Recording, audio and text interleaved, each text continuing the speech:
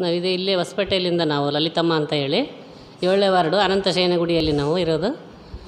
ನಾವು ಈ ಶಿಬಿರಕ್ಕೆ ಬರೋಕ್ಕೆ ಕಾರಣ ಏನಂದರೆ ಮೂಲಿಮನಿ ಬಸವರಾಜ ಅಂತ ಹೇಳಿ ನಮ್ಮ ಚಿಕ್ಕಮ್ಮನ ಮಗ, ಅವರು ಭಾಳ ಹೇಳಿದರು, ಒಂದು ವರ್ಷದಿಂದ ಹೇಳ್ತಿದ್ರು ನನಗೆ. ಇದು ಬ, ಇದು ಕ್ಲಾಸ್ ನಡೆದಾಗ ನಿಮಗೆ ಹೇಳ್ತನಕ ನಾನು, ನೀವು ಹೋಗ್ರಿ ನೀವು ಹೋಗ್ರಿ ಅಂತ ಹೇಳ್ತಿದ್ರು. ಆಗಲಪ್ಪ, ನಾನು ಏನೇ ನನಗೆ ತೊಂದರೆ ಇರಲಿ, ನಾನು ಎಷ್ಟೇ ನನಗೆ ಮನೆ ಜವಾಬ್ದಾರಿ ಇರಲಿ, ಅದನ್ನು ಬಿಟ್ಟುಕೊಟ್ಟು ನಾನು ಆ ಶಿಬಿರಕ್ಕೆ ನಾನು ಅಟೆಂಡ್ ಆಗ್ತೀನಿ ಅಂತ ಹೇಳ್ತಾ ಇದ್ದೆ. ಈಗ ಮೊನ್ನೆ ಆಗಿದ್ದಕ್ಕೆ ಹೇಳಿದ್ದವರು, ಅದಕ್ಕಾಗಿ ನಾನು ಎಷ್ಟೇ ಕಷ್ಟ ಇರಲಿ ನನಗೆ ನಾನು ಹೋಗ್ಬೇಕಂತ ನನಗೆ ಅನಿಸಿತ್ತು. ನಾನು ಈ ಕ್ಲಾಸಿಗೆ ಅಟೆಂಡ್ ಆದೆ. ನಮ್ಮ ಸೊಸೆನ ಎರಿಗೆ ಕಳಿಸಿದ್ದೀವಿ ತವ್ರ ಮನೆಗೆ.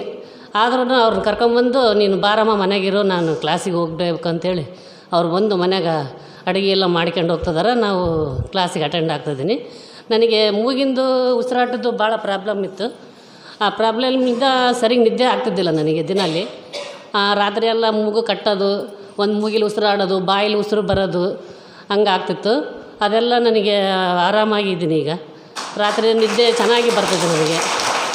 ರಾತ್ರಿಯೆಲ್ಲ ನಿದ್ದೆ ಬೇಷ್ ಚೆನ್ನಾಗಿ ಮಾಡ್ತದೆ ನಿದ್ದೆನ.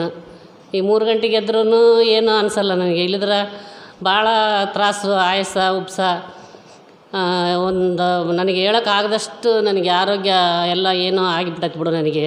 ಏನಾಗ್ತೈತೋ ಏನೋ ಅಂತ ನನಗೊಂದು ಭಾವನೆ ಇತ್ತು. ಹೆಂಗೆ ಮಾಡ್ಬೇಕು? ಇದು ಯಾವ ಡಾಕ್ಟ್ರ್ ಹತ್ರ ಹೋಗ್ಬೇಕು ನಾನು? ಅಂತ ಎಲ್ಲ ಡಾಕ್ಟ್ರು ಆದರು ಹಾಸ್ಪಿಟಲ್ಲಿ ಎಲ್ಲ ಡಾಕ್ಟ್ರ್ ಹತ್ರ ತೋರಿಸ್ಕೊಂಡೆ. ಈ ಮೂಗು ಆಪ್ರೇಷನ್ ಮಾಡ್ಬೇಕಂತ ಹೇಳಿದ್ದಾರೆ. ಆದ್ರೂ ನಾನು ಅದ್ರ ಗಾಡೆ ಹೋಗಿಲ್ಲ. ಆಪ್ರೇಷನ್ ಅಂದ್ರೆ ಬೇಡ ಅಂತ ನಾನು ಹಂಗೇ ಸುಮ್ಮನೆ ಇದ್ದೆ. ಇದು ಒಂದು ವರ್ಷದಿಂದ ಕಾಯ್ಕೊಂತದೆ ಶಿಬಿರ ಯಾವಾಗ ಸ್ಟಾರ್ಟ್ ಆಗ್ತೈತಿ ಅಂತ. ಹಂಗೆ ಮಾಡ್ಕೊಂಡು ಇವಾಗ ನಾನು ಬಂದಿಕ, ಈಗ ಮುಂದೆ ಗುರೂಜಿ, ನೀವು ಮನೆಗೆಲ್ಲ ಇದನ್ನೇ ಕಂಟಿನ್ಯೂ ಆಗಿ ಮಾಡಿರಿ ಪ್ರಾಣಾಯಾಮ ಅಂತಂದರೆ ಅದರಿಂದ ನಾನು ಇದನ್ನು ತಡೆಗಟ್ಬೋದು ಅನ್ನೋ ಅಂತ ಅನಿಸ್ತೈತೆ ಆಪ್ರೇಷನಿಂದು ಅದನ್ನು ನಾನು ಮುಂದುವರಿಸ್ಬೇಕು ಮನೆಯಲ್ಲಿ ಅಂತ ನನಗೆ ಅದ್ರ ಭಾವನೆ ಆಗೈತಿ.